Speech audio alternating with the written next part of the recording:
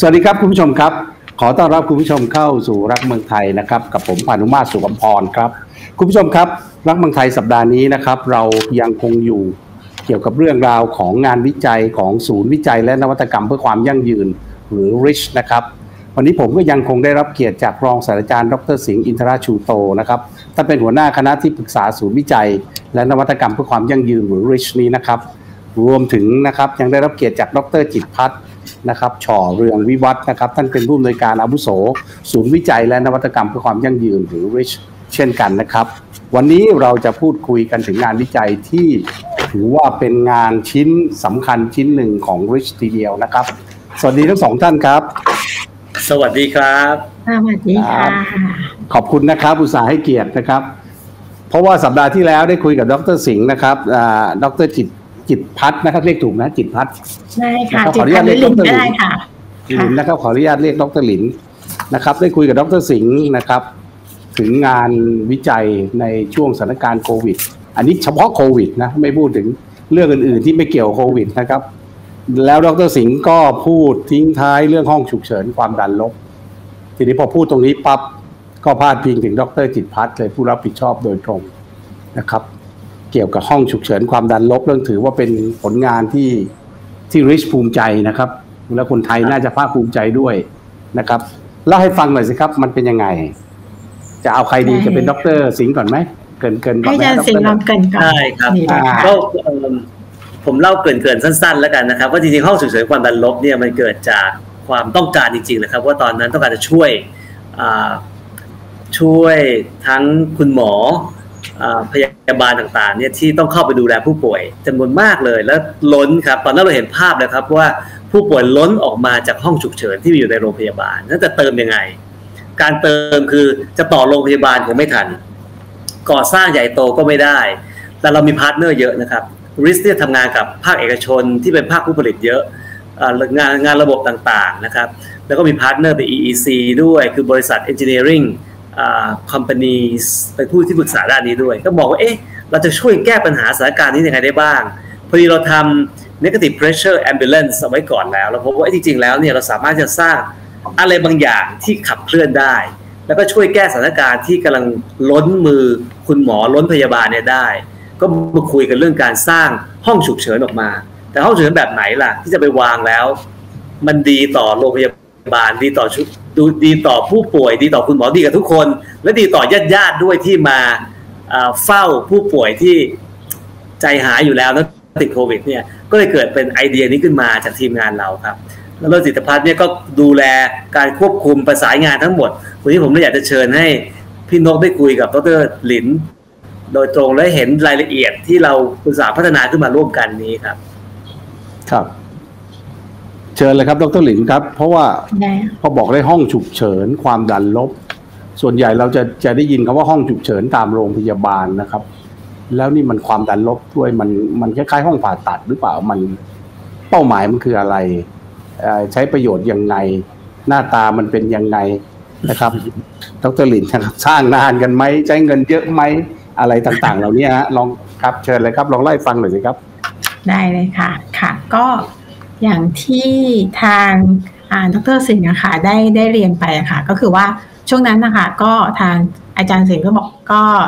จริงๆก็คือมีการประชุมในทีมกันค่ะว่าเอ๊ะในช่วงโควิดอะค่ะในส่วนของริสเองเนี่ยเราจะใช้องค์ความรู้อะไรที่จะไปช่วยเหลือค่ะสังคมอะค่ะ อย่างที่อาจารย์บอกก็คือว่าหนึ่งในพื้นที่ที่เราเห็นข่าวกันตลอดเวลาคือว่าโรงพยาบาลเริ่มคนเยอะมากๆเลย คนเต็มพื้นที่จนไม่มีพื้นที่สำหรับที่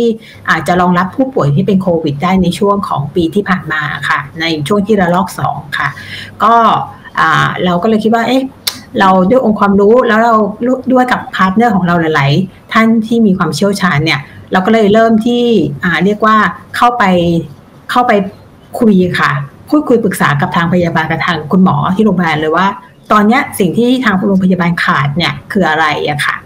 ก็ก็อย่างที่บอกค่ะก็คือห้อง ER คือห้อง emergency room นะคะ ห้องนี้ทำอะไร ห้องนี้ก็เป็นห้องที่มีระบบก็คือ negative pressure สามารถทำหัตถการกับผู้ป่วยหนักได้อะค่ะ ที่สามารถที่จะช่วยหายใจ ใช้เครื่องช่วยหายใจเครื่องปั๊มหัวใจต่างๆ ได้ในพื้นที่อะค่ะ แต่ช่วงโควิดเนี่ย มีคนต้องการใช้พื้นที่นี้เยอะมากๆเลย เพราะว่ามีคนที่มีอาการรุนแรง ที่ตอนนั้นน่ะเรารู้สึกว่าจะมีเป็นแบ่งเป็นสีแดงเขียวเหลืองใช่ไหมคะ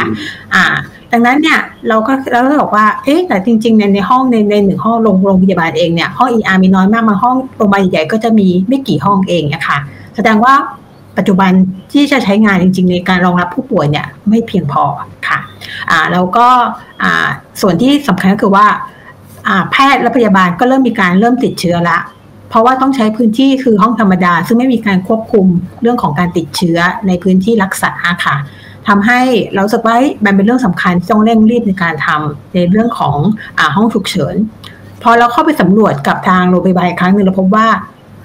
พื้นที่เนี่ยที่เราเห็นในข่าวเนี่ย เป็นไปด้วยคนไข้ที่นอนบนเตียงที่อยู่บนถนนลานหน้าหน้า หรือว่าพื้นที่ต่างๆ ที่ขยับขยาย จากพื้นที่วอร์ดปกติต้องเป็นพื้นที่โควิดเนี่ยแทบจะไม่มีพื้นที่เหลือเลยที่จะทำตัว negative pressure หรือเป็นพื้นที่โรงพยาบาล เราก็เลยคิดว่าแล้วไซซิ่งขนาดไหนล่ะ ที่จะเพียงพอหรือเข้าไปช่วยใน หรือเอาเข้าไปไปช่วยในพื้นที่นั้นนั้นได้อย่างรวดเร็วในเวลาที่จำกัดที่เราทำได้ค่ะแล้วพบว่าเราควรจะทำให้เครื่องเนี้ยหรือว่าห้องเนี้ย เป็นลักษณะของ modular flexible สุดๆ นะคะ ก็จะมีพื้นที่ขนาด 15 ตารางเมตรนะคะ ก็คือสูง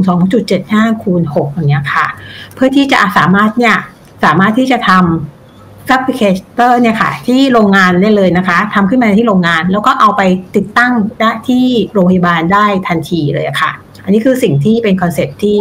ที่เราได้มาค่ะ แต่ส่วนพิเศษที่สำคัญของเราก็คือว่า คีย์เวิร์ดสำคัญที่เราคุยกันค่ะทางดรสิงห์ก็คุยกันไว้ว่า สิ่งที่เราสำคัญสุดๆ คือว่าทำอย่างไรที่เราจะต้องทำห้องเนี้ยให้ปลอดภัยกับคนใช้งานก็คือแพทย์นะคะแล้วพยาบาลที่เข้าใช้งานมากที่สุด เราก็เลยร่วมกับทางอ่าทาง EEC นะคะทางวิศวกรชั้นนำที่ออกแบบระบบโรงพยาบาล เราสามารถที่จะออกแบบให้ตู้ในที่ขนาดเล็กเนี่ยค่ะ เรียกว่าเป็น 100% fresh air นะคะหมายความว่าไงหมายความว่าจะมีการนำเอา fresh air เนี่ยค่ะ เข้ามาในการที่จะถ่ายเทระบายอากาศเนี่ยได้ร้อยเปอร์เซ็นได้ร้อยเปอร์เซ็นเต็มไม่มีแล้วก็เป็นอาการหมุนเวียนทางเดียวด้วยหมายความว่าการติดเชื้อเนี่ยในพื้นที่ที่มีคนไข้อยู่ข้างในเนี่ย จะมีโอกาสได้น้อยมากๆเลยอะค่ะ แล้วเราก็ออกแบบให้ตู้นี้เรียกว่าเป็นตู้สำเร็จอ่าตู้ สำเร็จรูปเบ็ดเสร็จที่สามารถควบคุมเรื่องของคุณภาพอากาศ แล้วก็เป็น negative pressure อย่างแท้จริงได้ด้วยตัวเองเลย ไม่จำเป็นต้องไปปลั๊กอินระบบต่างๆ ได้เลยนะคะ ก็จะปลอดภัยเราออกแบบให้ส่วนกลางของห้องเนี่ยเป็นพื้นที่ที่เป็นเรียกว่าเป็นพื้นที่ตรวจนะคะ สามารถวางเตียงของผู้ป่วยได้นะคะ แล้วก็จะมีเป็น portable อุปกรณ์ต่างๆ ของการช่วยเหลือแพทย์เข้ามา เราจะมีประตูด้านหน้าเป็นขนส่ง คนไข้เข้ามาเป็นวันเวนะคะ ส่วนบุคลากรทางการแพทย์นะคะ จะเข้าอยู่ด้านเรียกว่า enter room ขาเข้านะคะอ่าสิ่งที่สำคัญและเป็นอ่าเรียกว่าสิทธิบัตรของ negative pressure room ของเราก็คือว่าเราออกแบบให้มีลักษณะของการควบคุมการเข้าออกเส้นทางเดียว เรามี enter room ทางเข้าและทางออกหมายความว่าผู้อ่าพยาบาลและแพทย์เนี่ยค่ะเขาสามารถส่งชุดให้เรียบร้อยเลยนะคะ แล้วก็เข้า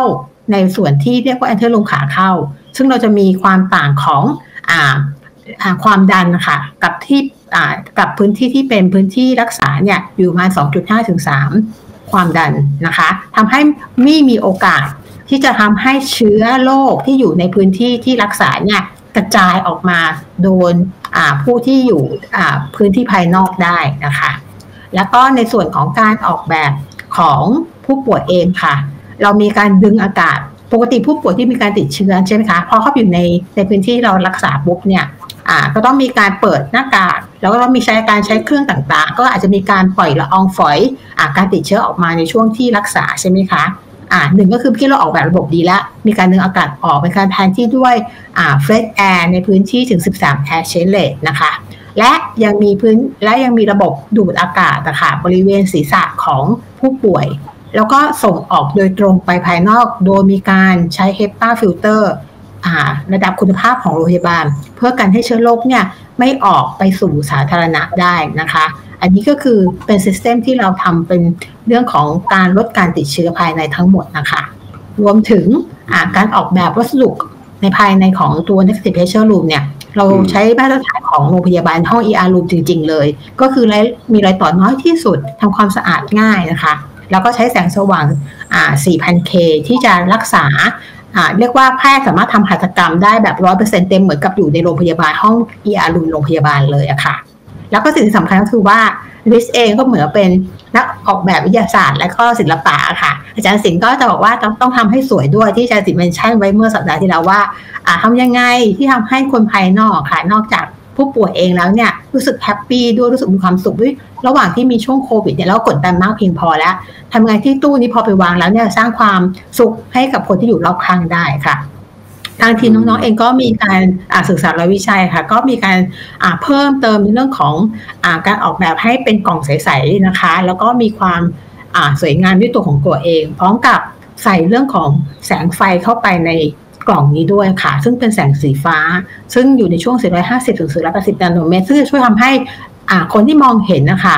รู้สึก คลายเครียดนะได้นะคะ สิ่งที่เราไปติดปุ๊บเนี่ย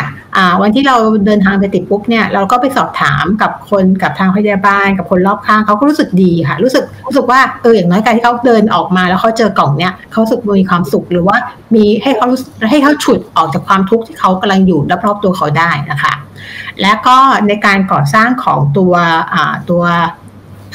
negative pressure room เนี่ยค่ะอย่างที่หลินบอกไปตอนต้นนะคะ ก็คือว่า เนื่องจากว่าเป็นเครื่องเล็กๆ เป็นโมดูล่าขนาดสักสิบห้าตารางเมตรเนี่ยค่ะ แล้วก็ช่วงนั้นก็คือจริงๆ ปัญหาเยอะมากๆค่ะ ก็อาจารย์สิก็ให้กำลังใจแล้วก็ผลักดันเต็มที่ค่ะว่าต้องไปต่อต้องไปให้สุดให้ได้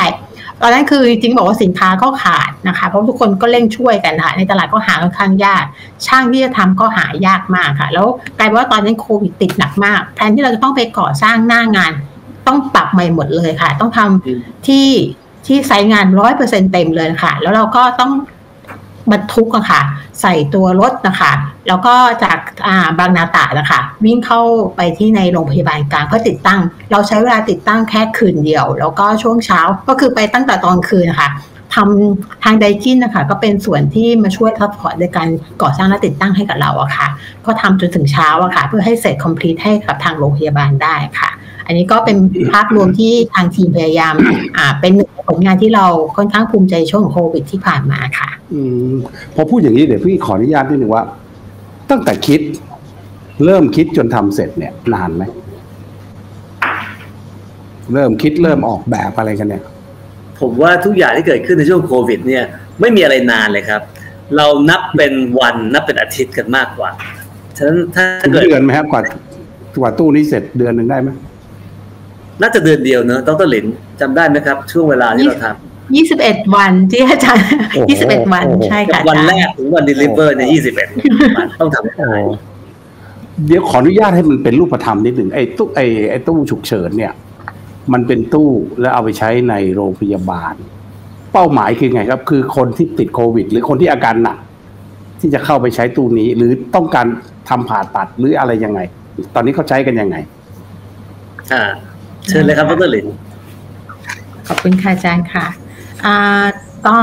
ความตั้งใจเราตอนแรกค่ะ ตู้โควิดนี่คือเป็นผู้ป่วยผู้ป่วยที่เป็นเคสแดงรุนแรงค่ะ คือช่วงนั้นจะมีเคสแดงรุนแรงค่อนข้างมามากค่ะป่าประเด็นสำคัญห้องเนี้ยที่จะช่วยก็คือว่า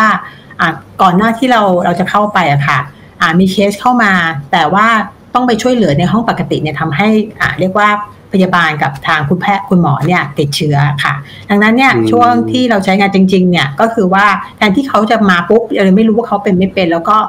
คือต้องช่วยละยังไงก็ต้องช่วยละ ห้องเนี้ยจะเป็นห้องที่สามารถที่จะรับคนที่เป็นผู้ป่วยที่มีค่อนข้างอาการรุนแรงค่ะเข้าไป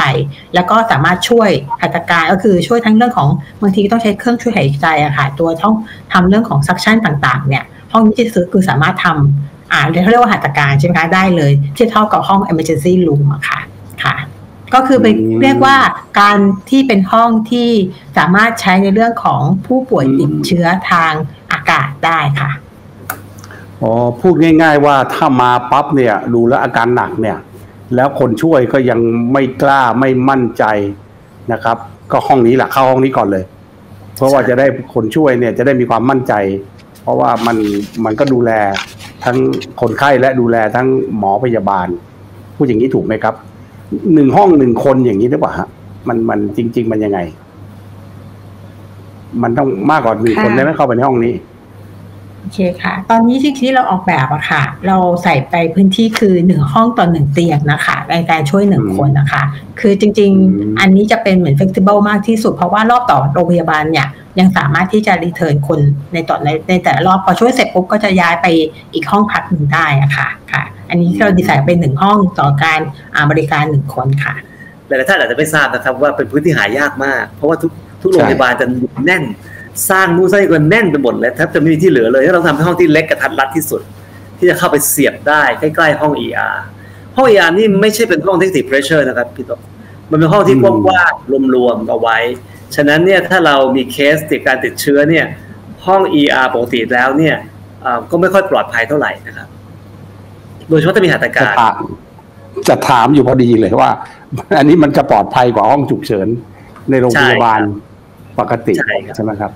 หมายถึงว่าเราไม่จำเป็นต้องตั้งในในตัวอาคารก็ได้ใช่ไหมครับเราตั้งนอกอาคารสำหรับตั้งนอกอาคารเลยครับ อ๋อคือไม่ได้ไปยุ่งกับอาคารเลยว่าไงเอาไปเอาไปตั้งใกล้ๆใช่ไหมครับ อืมใช่ครับอ๋อใช้ใช้เงินไปเยอะไหมเนี่ย หมดไปเท่าไหร่เผื่อมีคนสนใจ ตอนนี้ทำมาแล้วกี่ตู้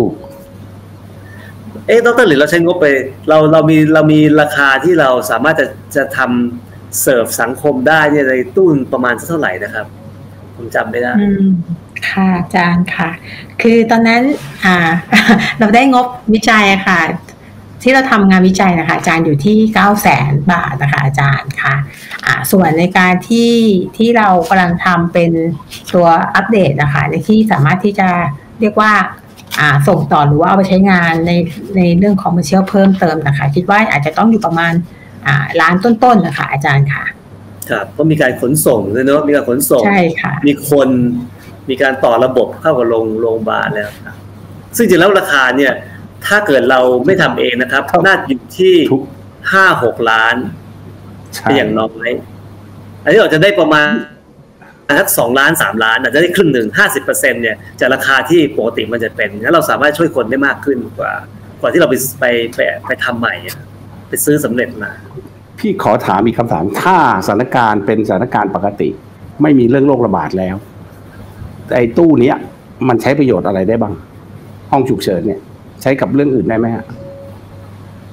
มีคำถามที่บ่อยเลย แล้วก็หลินตอบเลยครับ ตอบบ่อยเลยเรื่องอืนี้มได้เลยค่ะ